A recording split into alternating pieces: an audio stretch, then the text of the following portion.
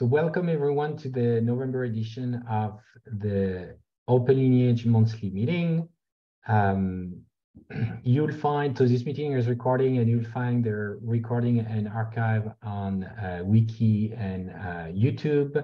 And uh, as usual, we start the meeting with doing a roll call. So I call people out in the order they show on my screen and uh, just give a, a quick introduction um, of uh, yourself and what you want out of this meeting, if, if there's a topic you want to be discussed, or if uh, you just want to be here and listen in, it's also fine. So there's no pressure um, to necessarily have something uh, to contribute to the meeting, and it's fine to just be listening in.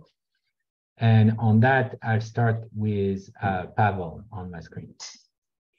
Hello, I'm Pavel. I'm software engineer at GetInData, and I'm Open Lineage contributor, and I'm super happy to be here. Thank you.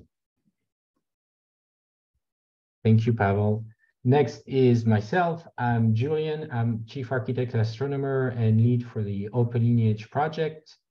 And uh, today I have a couple of um, things to talk about, um, but otherwise here to facilitate. Uh, next on my screen is Michael Robinson. Uh, have to unmute myself. Hi, uh, I'm on the community team at Astronomer and I coordinate these meetings. Happy to be here. Sam. Um, me? Okay. Uh, I'm Sam. I am a software engineer at Astronomer working on observability. Um, just listening in today. Prachi? Hi, I'm a software engineer in observability and uh, yeah, just partaking in the meeting today. Maciej? Hello, I'm a software engineer at GetInData and Open Lineage committer. And today I'm here just to listen. Next is uh, Petra. Hi, my name, is, my name is Petr Hayek. I'm a consultant working for Manta. And at Manta, we are uh, building a connector for Open Lineage. Uh, I can give some very brief update maybe later on uh, uh, what we have done so far. Basically, we are able to connect Manta, which is Open Lineage analytical tool, with any uh, Open Lineage producer and visualize you know the lineage in in this software great yes we will make sure to save some time to talk about this um, next is Harel.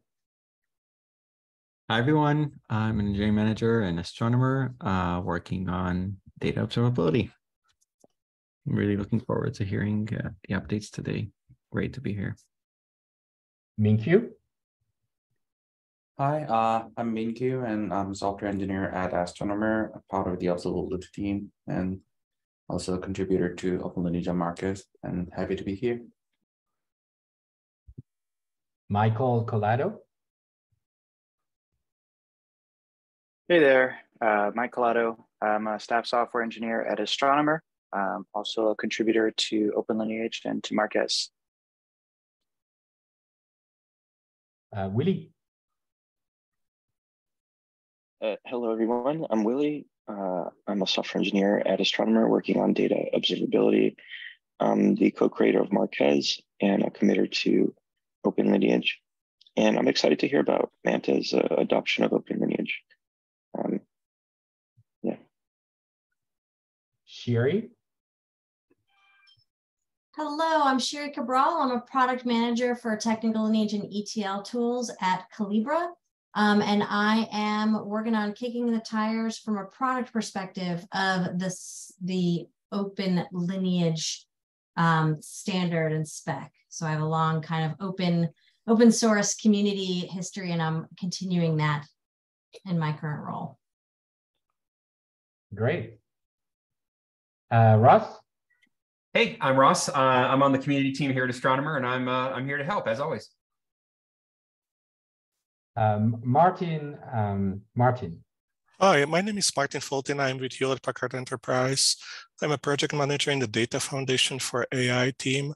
We have several researchers uh, attending the meeting today. I think we are on schedule to present on the common metadata framework and the opportunities to connect this framework with uh, Open Lineage.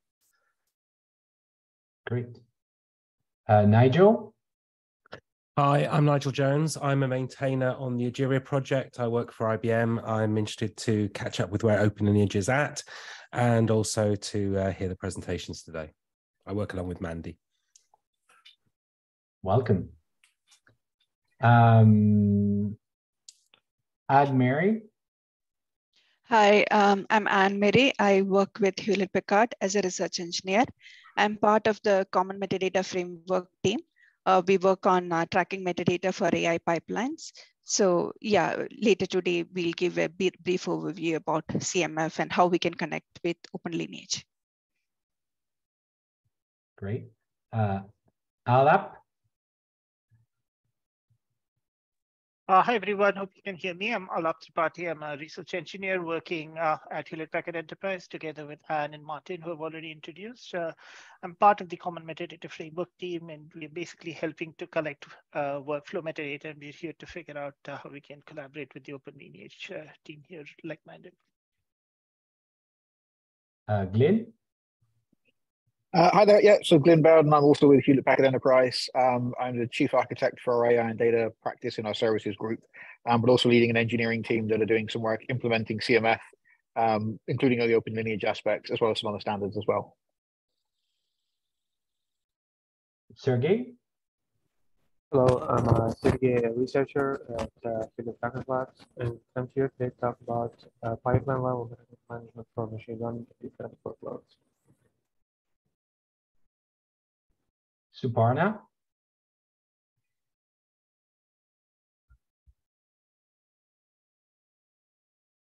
Suparna, you're muted. Sorry. Yeah, so many of us from uh, Hewlett Packard uh, Labs uh, and, and uh, uh, today. So um, we're also here to uh, present the Common Metadata Framework. Uh, so I work in um, in in the area of data-centric um, AI and have a background in storage and also a lot of open source background in the Linux kernel community. So we are really excited to see how to connect uh, our CMF project, which is an open source project with Open Lineage and uh, work more closely with this community. Great, looking forward. So next is Nigel.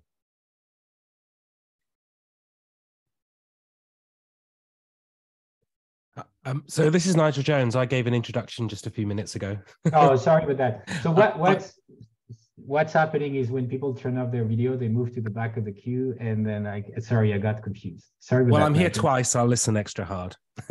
uh, um, so uh, next, um, so let me see who I forgot. Omri.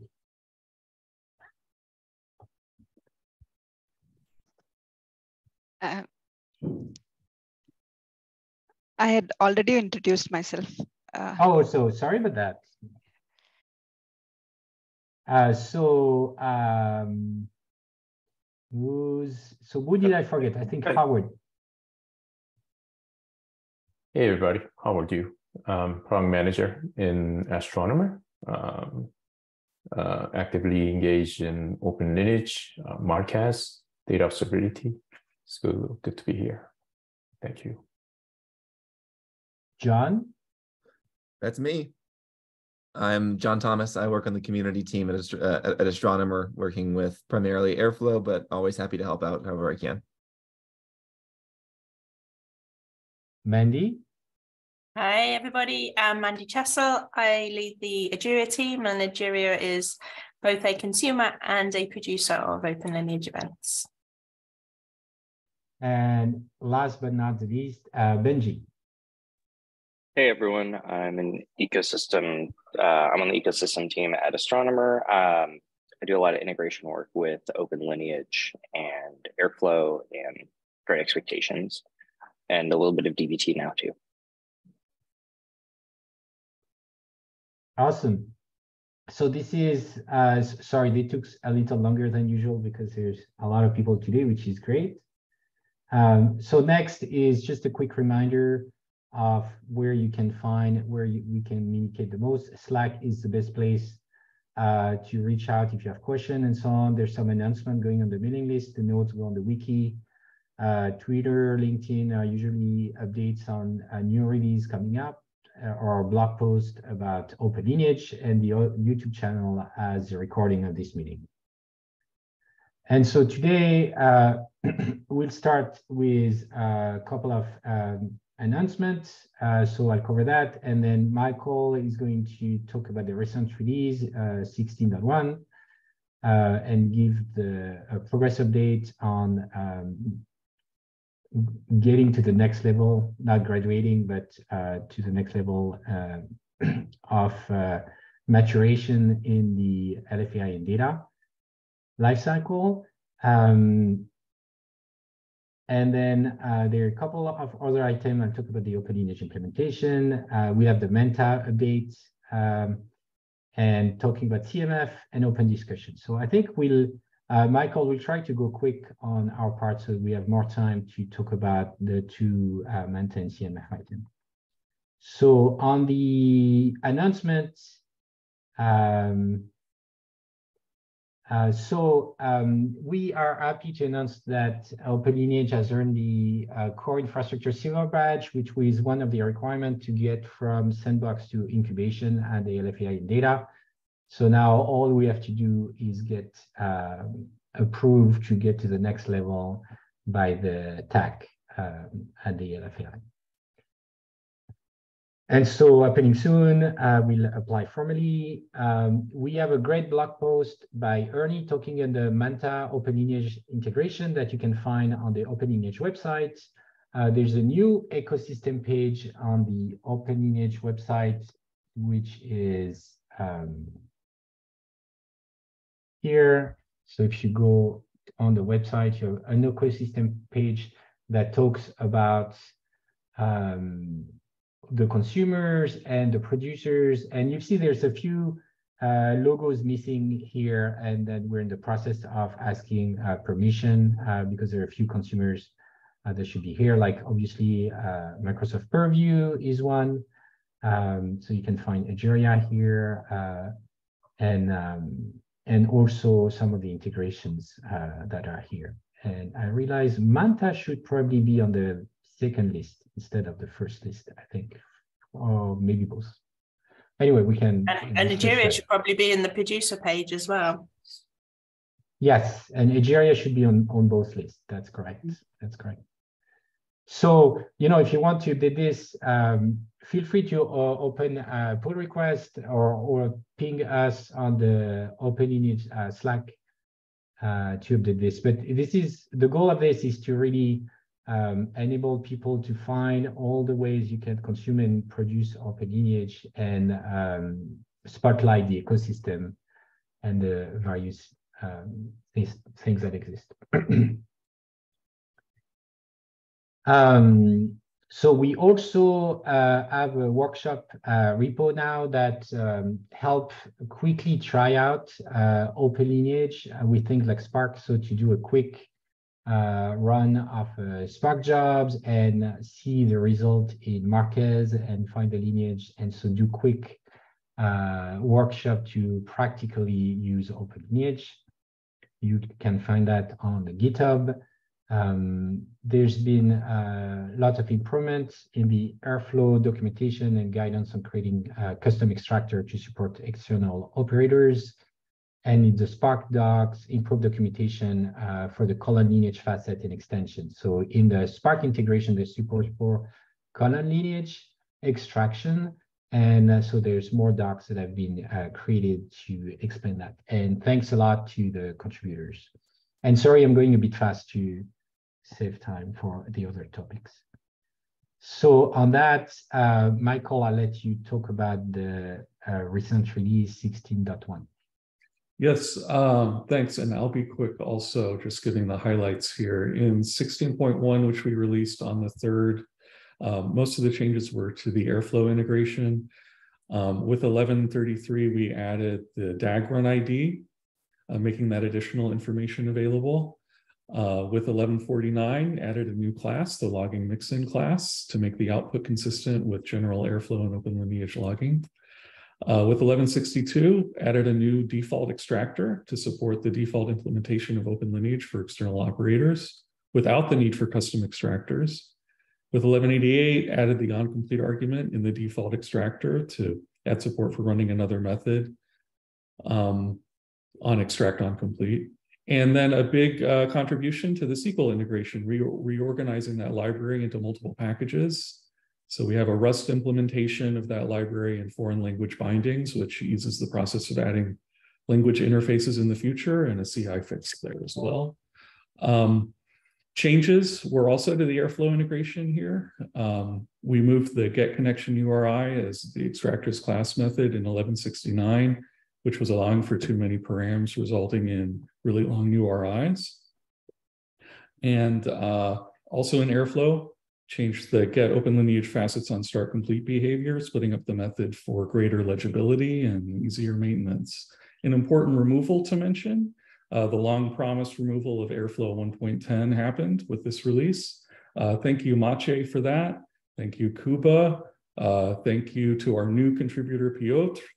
Um, uh, Minkyu, anyone else I'm forgetting, I apologize. There are some fixes from Benji and Pavel as well. For more information, as always, look at the change log. That's it. Uh, next, Michael, is your update on the LFAI and data uh, process grace update. Right. So uh, just uh, quickly here, so a little bit of background. We're in the process of uh, moving through the LFAI and data uh, process.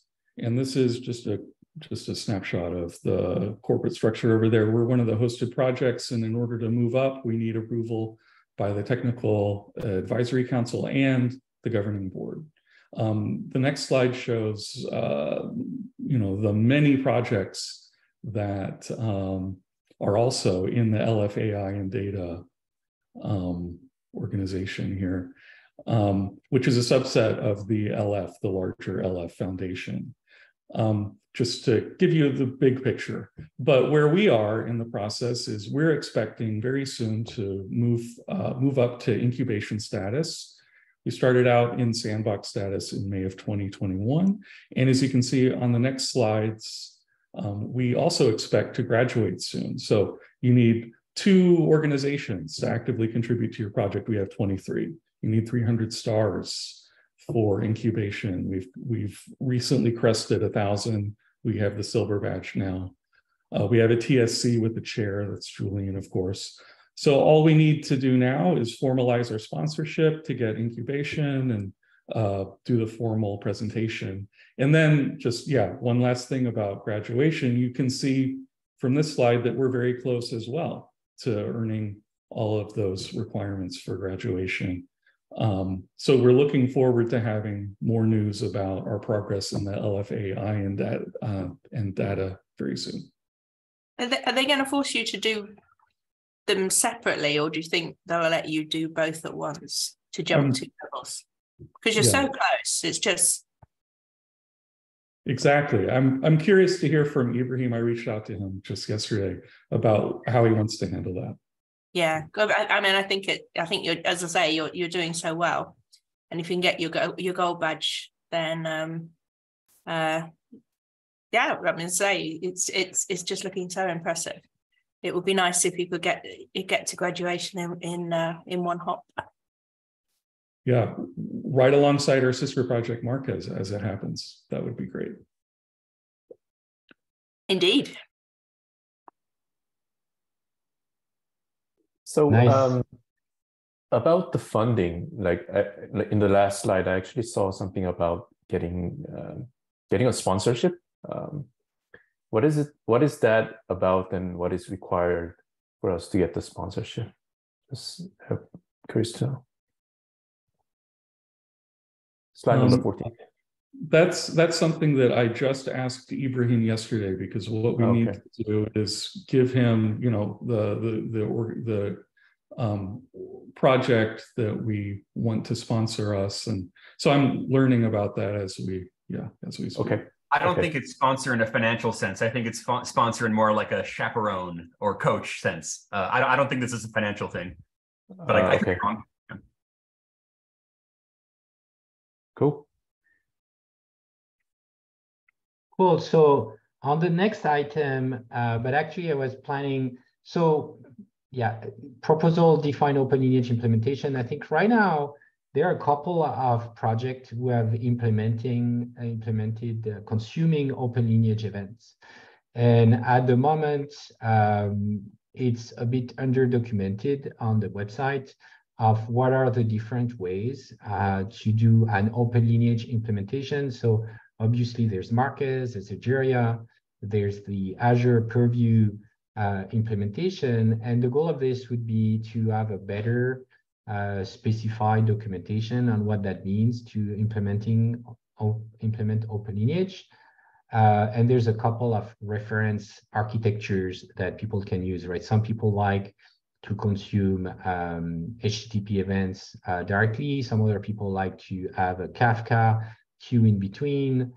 And so um, it's just a heads up that um, contribution is welcome. And uh, that's something that we'd like to clarify to enable uh, easier community growth around consuming and also producing open lineage and adding, adding more integration. So on that, I don't want to spend too much time on that. If people have questions and uh, or we can also develop at the next meeting um, once we probably would have made more progress on this. And on that, unless someone has question, I'll give the microphone to uh, uh, Peter.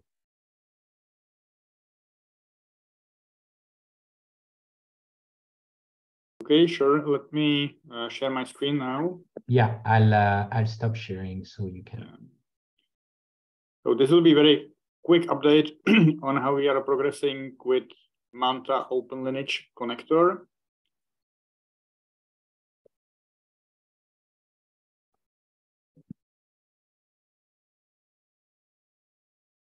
Okay, I hope you can see my screen now.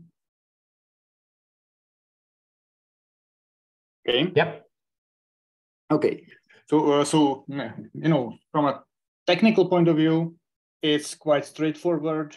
Uh, you know, solution.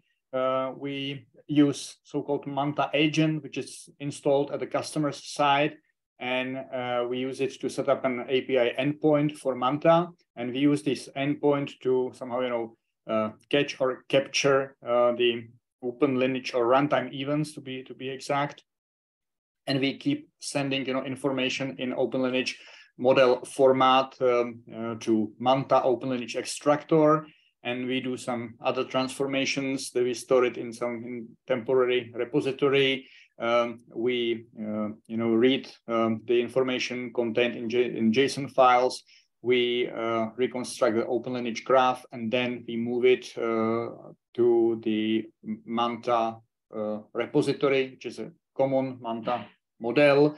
And then uh, finally, we are able to draw the Manta graph. So technically, this this is pretty much straightforward. There is nothing special uh, in this in this solution, and we should be able to generally, um, you know, make any open lineage uh, producer compatible with Manta uh, using this simple uh, schema or scenario. Uh, I will show you how it looks when we read something um, uh, from Open Lineage uh, producer. This is an example of Keboola. Um, Keboola, uh, you know, gave us access to their training environment, uh, and we are testing the connector on their so-called um, you know, metadata repository, or they call it telemetry data. So uh, we are capturing, you know, the events on their side then sending to, to Manta connector and we are reconstructing the, the, lineage. So in this example, I will, for example, uh, focus on a specific uh, data set, KBC project. I've selected this one here among the focused elements and I'll start visualization. Sorry. -huh. Just a moment, please. Yeah. And now I can drill down to details.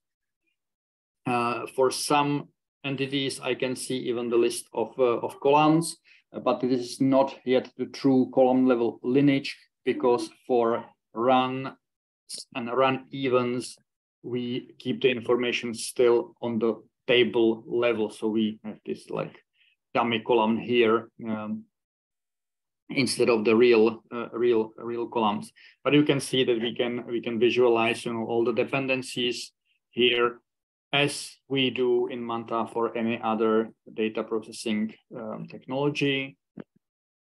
We can drill down and see more more details. There are some of them, and so on. So that's that's uh, that's basically it. We are now um, searching for kind of let's say volunteers uh, for further testing of this um, of this connector because we are aware of the fact that you know there will be definitely much higher richness of um, you know, of those environments behind open lineage producers and there are also several options how to visualize uh, these dependency trees uh, in Manta. This option, this version that we are now uh, looking at um, works primarily with data sets and runs. Uh, we have also uh, a option where we primarily focus on data sets and jobs, and then we can drill down to runs and run events. And there are some, some other you know, options in visualization and interpretation of, of metadata. The good thing is that once we have this open lineage metadata in Manta repository, we can combine it with um, uh, data lineage information, which we obtain from other technologies like on-premise, Oracle, SQL Server, and you know lots of there are tens tens of technologies that we can uh, we can um, capture in Manta, and we can combine it. So we can draw the lineage across multiple technologies, including those that are accessible through, through Open Lineage. So we now are really seeking for volunteers to participate in testing and fine tuning of this connector and the visualization of Open Lineage, you know, uh, inside of uh, Manta. So basically that's, uh, that's it from my side. Uh, if you have any questions. I have a question. Are Yes. using uh, column level lineage facet from Open Lineage? Uh, not yet. Uh, unfortunately, uh, we we don't have good examples of this metadata. So if if if you if you have something uh, uh, that you can generate um, column level facet, we are ready to read it, uh, but we have not tested yet. So in this case, uh, you know, those JSON files contained only information about structures of uh, of data sets, and then we visualize we visualize all the columns uh, which are there. Uh, and if you have good examples of column level, um, you know, JSON files, um, uh, we can very quickly adjust the connector and visualize visualize visualize column level. So if you have good examples and you would like to participate in, in this process, uh, uh, you would be welcome. So yeah, so the the workshop I was mentioning uh, in the announcement is a good example of that. So if you go in the Open Lineage workshops uh, repository on GitHub, and there's the Spark folder in it. Actually, let me let me share and show this. Okay. okay. Um, um, let me share the right screen. Right. So this one. So I went to the Open Lineage GitHub account, to the workshop repository, and the Spark folder here. There's an example of uh, using Jupyter Notebook to run a Spark job that will produce uh, column level lineage.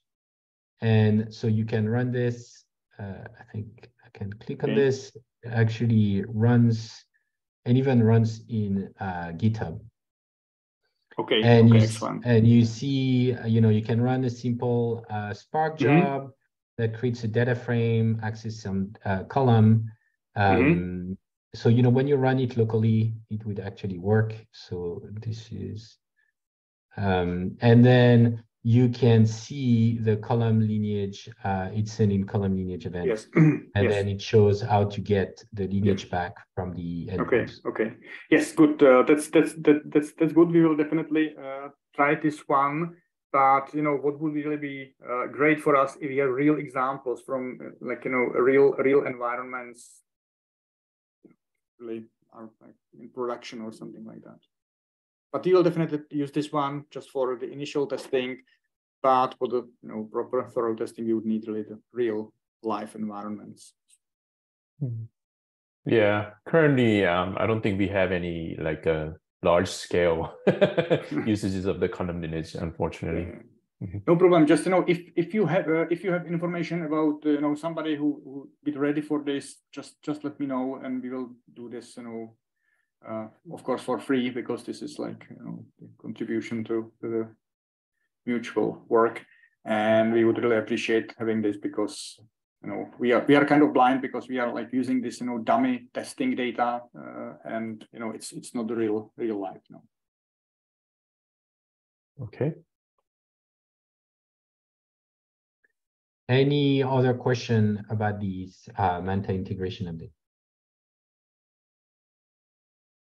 Okay, thank you very much, uh, Peter, for you. sharing. And uh, I think you can, uh, oh, you probably had pinged the Slack channel already, so feel free to ping the Slack channel as well if, you want more people. And uh, we can also amplify this on the Okay. Open Lineage project. Okay. So next is um, the linking CMF, um, the common uh, ML metadata framework, and Open Lineage by uh, Suparna Admari of HP Enterprise. So I'll release the screen and let you uh, present. Thank you, Julien. Let me just share my screen.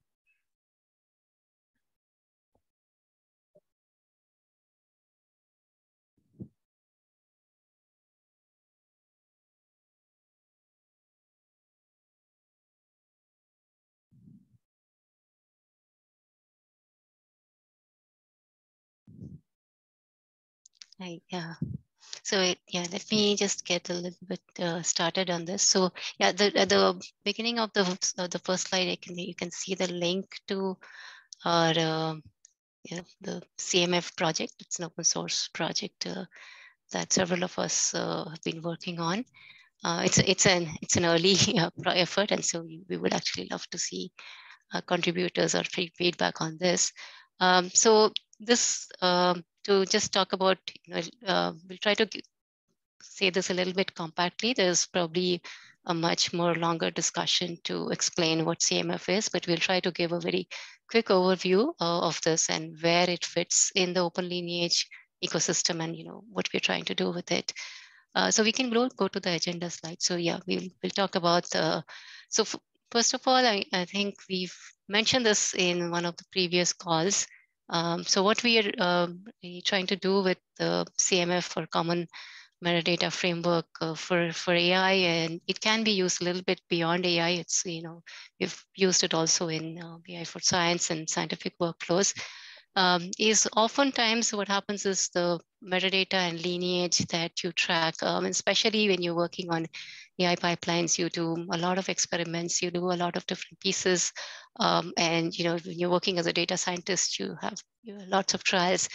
And even though the, there are lots of uh, tools that exist, uh, oftentimes you see this lineage and metadata is this stranded lineage and metadata, which people are working on in their environments and um, not actually getting to capture that. Um, and as we were trying to build more, um, uh, and, and we'll come to that in a moment, as you try to build more trustworthy AI models and you really want to look at the trajectory of what happens from the data to the transformations to the models that are generated and what is you know transfer learned from those models and then you know how that behaves in production and then again how you get feedback from that uh, so it needs a linkage between all of these kinds of uh, pieces of metadata and so we've been trying to build this framework of which uh, you know one example of it is you know a simple uh, library that we have which uh, you can use from an ml or data science environment uh, and um, it could be used in a Jupyter notebook or Python scripts. Uh, we will talk about some of the explicit and implicit APIs as well as we go off. Uh, but it means that you can work anywhere. You work on your laptop, you work in the cloud anywhere, and you record your uh, metadata, your pipeline lineage and, and metrics.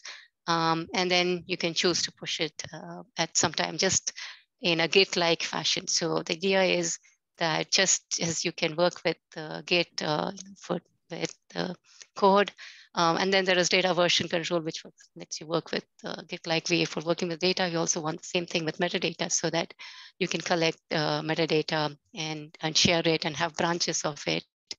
But then what we really want to do is to be able to make that metadata consumable, usable in, in a, you know, in a catalog or any consumer uh, to actually stitch things together. Uh, for example, uh, you know, other sources of lineage that exist.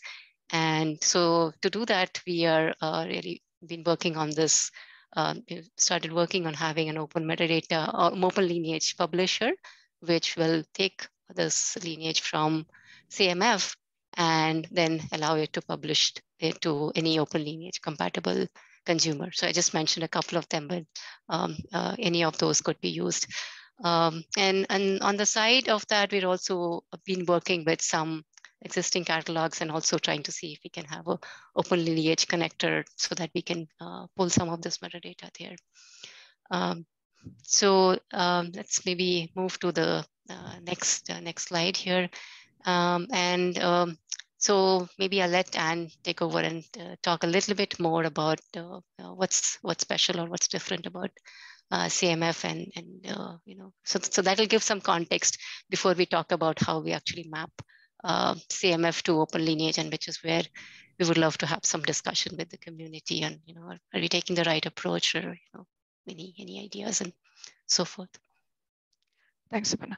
So uh, what are the challenges what we are trying to solve here? Because there are other existing metadata tracking tools. So the challenges that we are trying to track uh, solve here is to get the end-to-end visibility of a pipeline. So if you take an AI pipeline, it has multiple stages and each stage could be executed independently in a distributed fashion in a distributed site. So it's not just about the training alone. So it's about the data pre-processing that you have, the inference stage, the monitoring stage. So the multiple stages that a pipeline could have and how the different stages a data could flow through. So we want to track the end-to-end visibility for an AI pipeline. And if you take a complex AI pipeline, like in the scientific world, there could be multiple models in the same pipeline and the performance of a model at a particular stage could influence the performance of another model at a subsequent stage. So you should be able to track these dependencies between the different artifacts that are there in the pipeline and also uh, there could be different experiment variations for a particular model. So each experiment variation will actually start its own lineage chain and you should be able to track end to end all through this different lineage chain that could be there. So it is not a trivial job to track these depend these different dependencies and the lineage chains that could be there when you have different multiple experiment variations and when you have multiple models that are there in the pipeline. So that is where CMF comes in. So CMF allows you to track that lineages, you would have and manage that lineage for you. And uh, in the era of data-centric AI, you it's not just enough to concentrate on the model development and model training alone. You need to have that end-to-end visibility of that entire pipeline. You should know how that data has evolved. What are the different processing that has, it has gone through to understand whether there is any bias in the data or there any imbalance in the data. So that end-to-end -end visibility is what CMF would provide.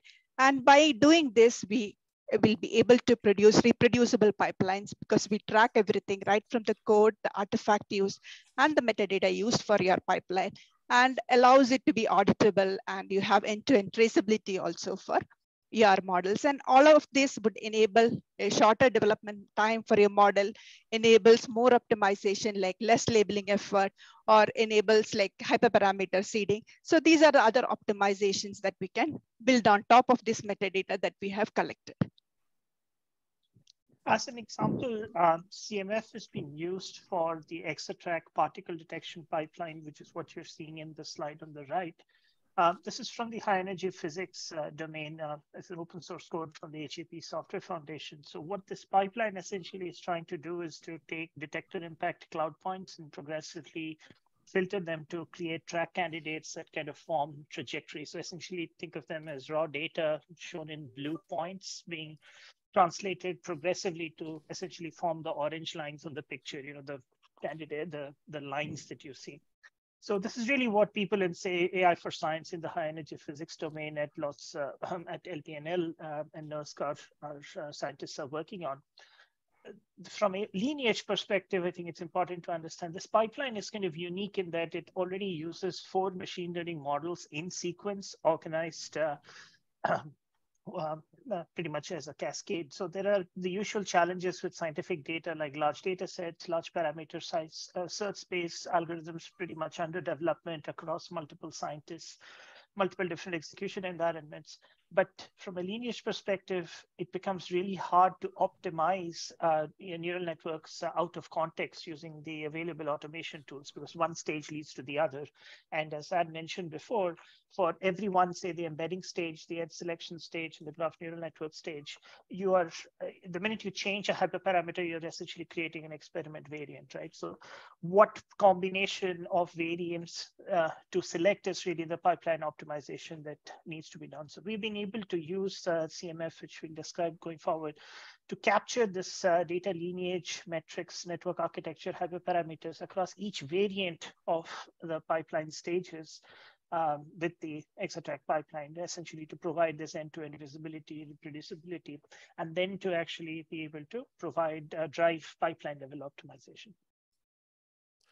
The AI manufacturing quality control is another complex pipeline example where ML models may need to be retrained after deployment as the defects and imaging conditions may change over time. Only the most important data samples are selected for retraining to reduce the labeling effort, which adds to the complexity of the model provenance tracking. Recording of lineage and metadata is critical for pipeline reproducibility, audit trail, and also for the unwind of the model to previous conditions when needed. CMF enables this across the training and deployment domains, which can be the data center and the edge. And CMF also provides APIs to efficiently collect or track the data slices in cases when the subsets of the data sets are, uh, are selected in subsequent iterations. So it's a quick question. Is this tracking happening, happening automatically or does the data scientist have control on what's being recorded? So if they go down a, a dead end, they can take that out of the yeah, that's an that's an excellent question, and you will see throughout the presentation a little bit more detailed. But a quick answer is both. There is a set of explicit APIs that the data scientists can use to track metadata, as well as the implicit capabilities that we are adding to uh, get the inputs and outputs automatically from the pipeline management tools. Yeah. Yeah, and, and to add to that, I mean, um, so there is two parts. That's kind of where the Git-like model really helps because you, as you said, you know, you you might have recorded things explicitly, you put things in the code, but maybe as you're saying, there might be some experiments that you really don't want to preserve and push further. So you can choose which branch or what you really want to publish ultimately. So it's kind of like the git push, and then you may have a master branch or you may have some of the branches that you want. And uh, one of the thinking is that then when you do the open lineage publish, you can probably choose which ones you actually publish forward. Uh, Perfect. Brilliant. You can, you can unbind, yeah. Thanks. So going forward, so we have built CMF on the three pillars of reproducibility. Like you need to, for a reproduce an AI pipeline, you need the code, you need the metadata, and you need the exact data. So to track all of these, we have a metadata store, uh, which today is built on MLMD and MLflow. And uh, we have an artifact store today that backing is DVC, but it's actually a plug and play model and we can bring in any other artifact store. And for the tracking the uh, code versions, we have Git and Git is the indexing that we keep. So on top of this, we have our logging engine, the APIs that we provide to actually log the um, the data set, the artifacts, and log the metadata that is needed. And we also have another query engine that allows you to mine information from what is recorded in CMF. So on top of it, we also have an optimization engine, which is like we are building it right now, which enables you to optimize these pipelines further, knowing that a certain set of metadata has worked well for a certain pipeline, for a certain data version. Well, how can we use that, that particular metadata to another pipeline, or how we can um, how we can improve on the model training time or uh, uh, derive a subset for your uh, active learning. So these are some of the optimizations that we are trying to build on top of the CMF right now. So going to the uh, how CMF compares with the other tracking tools. So there are uh, two different families of tracking tools, if I can say, in the market. Some tools take a model-centric approach where they um, they provide uh, APIs to track an ex particular experiment in detail. And some tools like MLMD provides a pipeline first approach where you can track the entire pipeline end to end. So CMF tries to bring in best of the both the worlds and tries to do both for you. So we have uh, taken abstractions, uh, we have abstractions, abstractions that allow you to track and end-to-end -end pipeline. And we also have uh, APIs that allows you to track a particular experiment in detail. So one, one um, highlight that we try to do is the Git-like support, uh, where you can share this metadata across. We don't want that metadata to be siloed and locked inside a particular data center. We want that ability to be able to share that metadata across like a Git-like fashion. You work on a particular experiment, you come to a logical conclusion, and now you have that metadata, you want to share it across. So the CMF enables that sharing of metadata between different teams that are working together. And we also have integrated versioning where every artifact that comes into CMF is automatically versioned and it is identified by a unique hash. We also have APIs that allows subset identifications. So uh, to understand like how a particular model evolves for a particular subset of a data, be it the gender, ethnicity, uh, etc. Um, also, we have uh, metrics to track the track your experiment. We, we have metrics to track a particular epoch or fine grain metrics. And also at the end of an experiment, more coarse grain metrics to track how a particular experiment has performed overall.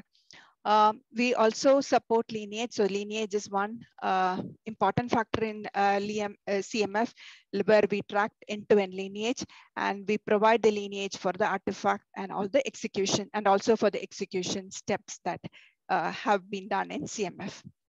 So, so uh, what this enables, finally, what this enables you is to get this end-to-end -end lineage from the different distributed sites across different experiment variants that you have done and across the different iterations of your model development. Like you have from the model engineering stage, lineage from the model engineering stage connected to the model inference stage. Again, if it goes through a retra retraining cycle, you will be able to ident identify which subset of data was used for retraining and how did that particular model evolve. So there, this could be a, multiple iterations over this loop and we provide end-to-end -end lineage over all the different iterations that would have happened. So this helps in scenarios where you have a particular data set that is tainted and you want to remove that influence of that data tainted data set or you, or you want to know what is the influence what are the other downstream artifacts that have got that got polluted because of this tainted data set all that information gets automatically extracted from this lineage that is provided and the other important factor is the uh, collaboration that this enables between multiple team members. So we don't, uh, because we are able to uh, exchange this metadata between the teams, uh, we allow teams to learn from the metadata of each other and provide a much stronger um, model and ability to collaborate between different teams.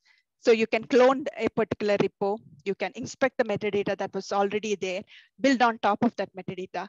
And once you've done and uh, with your experiment cycle, you can push that metadata to the Git repository um, and then pull it back and enable that sharing. so metadata is never pushed to the Git, only the reference to that pointer is pushed to the Git. So Git enables sharing for us.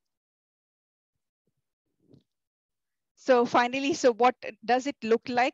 Um, so we have a Python library. Uh, so we have Python APIs by which you can track metadata. So this is the um, explicit tracking of that metadata that is enabled using APIs. We have both explicit tracking and the implicit tracking. So this is an example of how it would look if you have to explicitly track your metadata.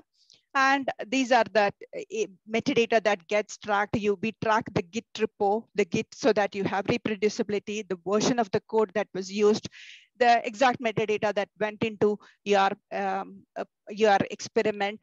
We track the version of the code using its content version of the data with using its content hash. So we track each data set with its unique hash so that you can identify a data set anywhere in this distributed ecosystem and be able to stitch the lineage together.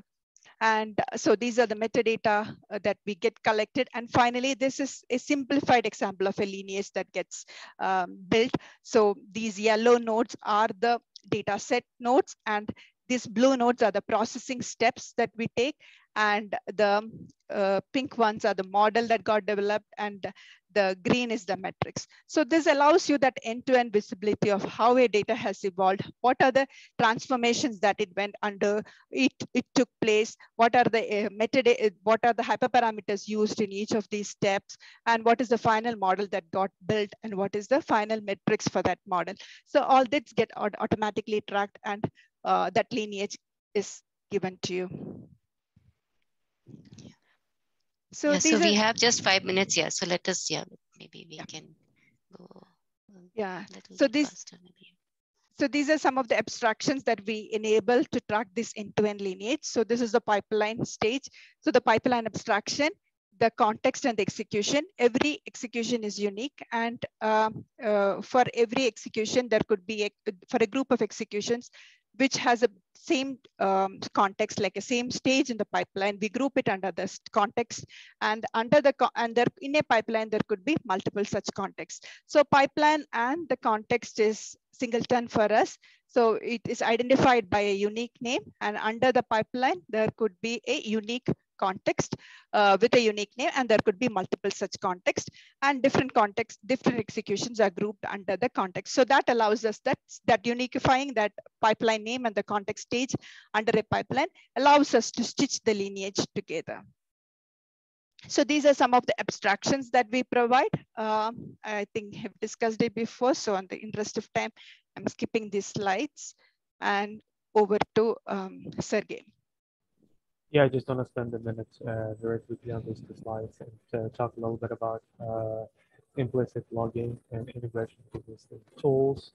Uh, essentially, um, the task for us is a piece of functionality on a, on a pipeline.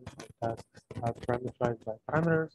They take uh, they take in, uh, named inputs and they produce named outputs, and um, and we, we, we define certain rules that developers need to follow in order to develop these tasks. Uh, we provide a type system of artifacts such as references to external data, data sets, machine learning models, uh, objects representing result of hyperparameter search. And then every artifact, artifact has an associated URI, which points to uh, who owns this artifact and where uh, that artifact is located within the namespace of that owner. Uh, and then we provide uh, uh, function decorators in Python language to essentially turn into any any um, uh, function into uh, into a task. And then that uh, gives uh, pretty much for free uh, two, two interesting features. One is automated logging, um, and then another one is ability to run these tasks on a command line interface. And this automated logging feature comes uh, no matter where you run this, either on a command line, in your uh, source code, or you package uh, this function, let's say, into a Docker a Singularity uh, image and then run something else.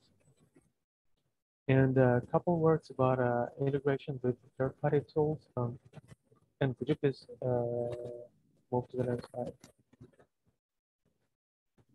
Yeah, uh, so we want uh, CMF to be a source and destination for uh, various metadata flowing uh, around AI pipelines. And we have uh, auto logging uh, feature that allows us to integrate with the existing ML and deep learning frameworks such as XGBoost and TensorFlow.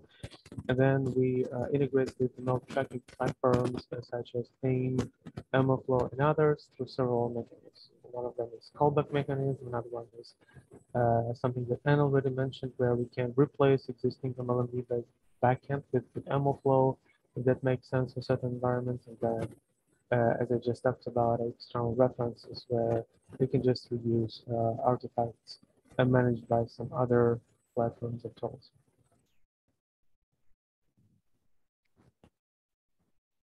So uh, going forward, so what we had, uh, so what we basically want to do is to have a open um, ability to export our metadata in the open lineage format so that it can be consumed by other downstream catalogs or tools like Marquez. So this is what we had in mind, like uh, the abstractions are abstractions, these pipeline, pipeline context and executions are abstractions and how it maps towards the open lineage. So this is our very early understanding of how it could be mapped onto the open lineage. Like a run in open, lineage, open lineage is kind of execution for us and a job in the open lineage um, is a context for us and you have already have abstractions for data set. And we also track metadata for data set. So we can have the data set facet uh, to be able to do that. And I am assuming the namespace uh, that uh, the, the, the namespace is the abstraction that ma maps to the pipeline for us. So these are the um, the translations as I had put it. Maybe there could be better ways to do it, or there it may not be. Uh, we want a feedback on whether it's appropriate or not. And the other thing that is uh, what we do is track the model and the metrics. And I'm not sure there is a one-to-one -one translation for with, or we have to wrap everything under a data set abstraction. So these are some of the questions we had. And also uh, we had a question on the run facet, like um, the, the facets that you have, whether we can independently push the facet or it should be always identified with a run. Um, those are some of the open questions we had in our mind on building this. Yeah, so I think this is pretty close. We can, so we, two minutes over time, but we can, I can go a little bit over to answer your questions. We can also follow up on the Slack channel. I think this is pretty close. So yes, execution maps to a run. I think from the pipeline perspective, I would think the pipeline maps to a job name. And if you look at the Marquez model, you see that the job gets versioned. So I think if from a, one pipeline to the next, the context changes. So I'm assuming in context you have a hyperparameters changing or something, for example. Uh, then the job gets version, right? And like, and so you have the context for the pipeline could be a job version in that sense. It's a uh, stage. Uh, so actually, it's like a pipeline is a overall pipeline, and then each stage of that is a context. So okay. maybe is it a parent job or, maybe? Yeah, exactly, exactly. So in that sense, that's a good uh, clarification. So yes, so in that sense, job are can actually be hierarchical. So I think both the pipeline and the context would be jobs in that uh, sense. Um, and then the context would map to the pipeline as a parent job. So we kind of although they all map to jobs, um, and there's a hierarchy involved. And I think on the dataset point of view, yes, so your dataset maps to a dataset. And I think a model in that sense could map to a dataset as well. Maybe we ought to be naming this dataset thing as a, a little more generically. Um, and think in the open lineage model, the the model, the um, machine learning model is an open lineage dataset as well. It is the output of the training job.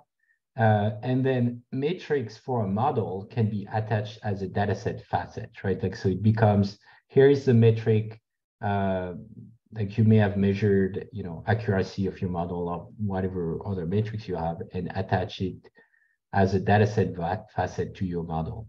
I would think roughly yeah. that would be how to map it. Yeah, yeah. Yeah. So one question we had on the data set facet, because there are many static facets. I mean, maybe it's a very basic question that we have, but you it's not that every run event your facet data set, you know, schema and all characteristics that you extract are going to change. Um, so is it that we have a, uh, you know, can you, can you, how do you handle static facets, you know, maybe of, of data sets which will have lots of characteristics? Yeah. Yeah, if you look at, um, so it, the, the, the way the model works is kind of observing what's the, the schema at this moment in time, right? Like, so in a lot of cases, people consume data sets, but they're not necessarily aware when the schema has changed, right? So the model captures, for example, what was the schema of your input at the time you read from it in case of someone changed it. Uh, and in the output, uh, it's a bit similar, right? If you change the logic of your job and it changes the schema uh, of the output, you would capture it as well.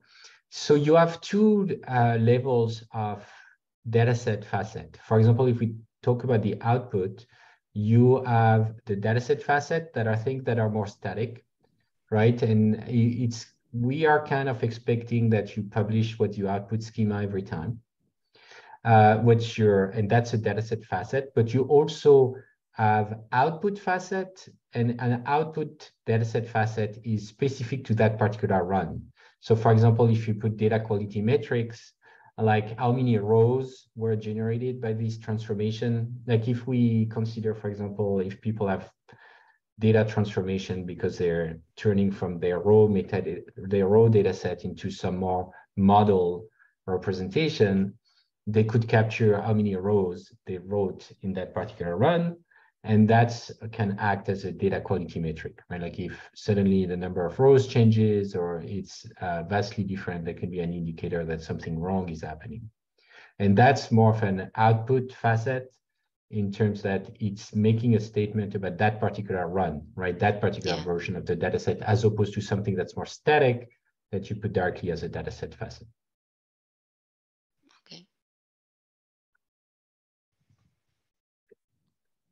So I understand if you know people are running out of time. Yeah, uh, exactly. Maybe we had to wrapping up, but we are happy.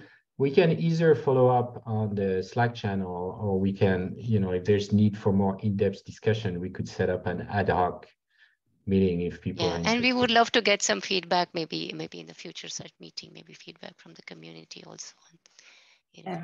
Yeah. I think this is super, super. Have you, have you thought about bringing it into the LFAI and data so uh, so it's uh, you know, sort of much more visible. Yeah, As a project, you said it was yeah, open. We, yeah, sorry.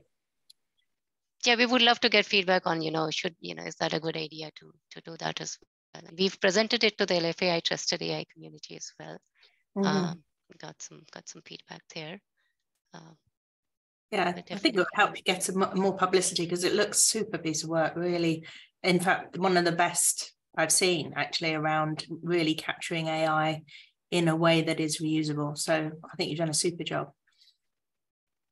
Yeah, that to me, like joining a so joining a foundation, you have two reasons. So one is you know you become more visible, but the other one is also creating this uh, really clear statement that this is for the community by the community, right? There's a foundation behind it it's not uh, and you want to grow the community and bring other people as to be stakeholders in your project uh, and I think the LFAI is also good at creating this community between projects. You see between Open Lineage and Egeria and Marquez and Amundsen, and uh, that could be another one uh, to join this group. Very helpful. Thank you, Julien. Yeah. Thank you very much. Yeah. Thank you all for presenting. I think there was a question uh, uh, learning about Open Lineage and its adoption. So we don't really have time right now. Do, you want to follow up on the Slack channel or do we want to, we can talk about it next time or that's from uh, Amri. Oh, I think sure. may have, oh, you're here, right. Did you want to, do you want to, maybe we'll follow up on Slack if that yeah. makes sense. Yes. Sounds good. Let's do that then. Yeah. Thank you very much.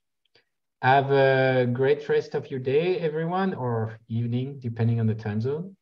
Uh, and uh, see you next time. And uh, looking forward to hear more about your project. And feel free to follow up on the, the Slack channel in between the meetings.